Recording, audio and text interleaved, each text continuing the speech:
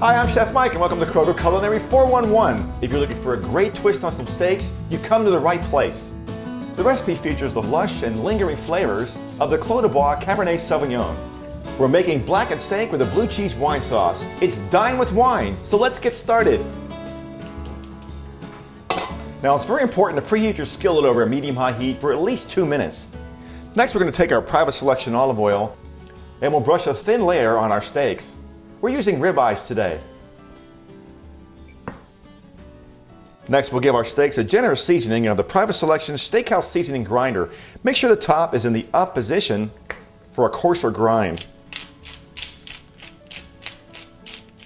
Now we'll turn the steaks and repeat the process for the second side. Oiling and seasoning the steaks first makes a great crust on your steaks.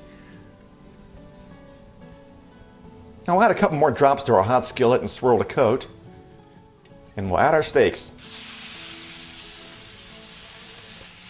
We'll blacken our steaks for about one minute and then we'll turn.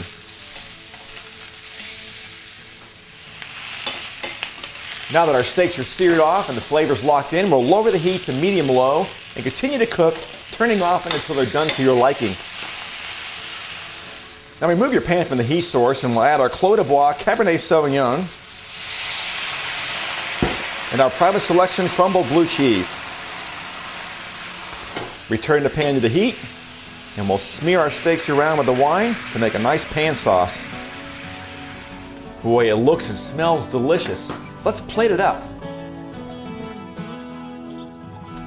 When you're presenting a dish, you want to make sure you give it some height.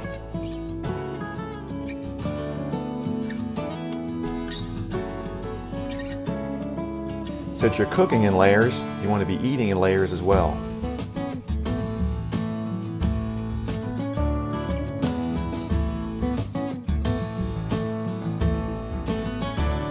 Enjoy this dish with a great glass of the Clos Du Bois Cabernet Sauvignon wine.